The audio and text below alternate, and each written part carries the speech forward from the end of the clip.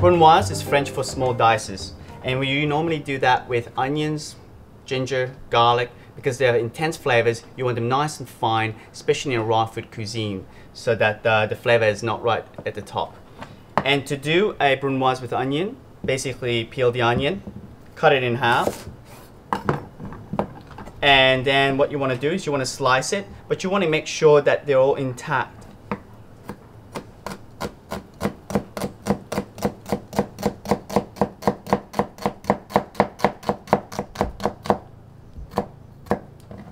And then turn it around and off you go.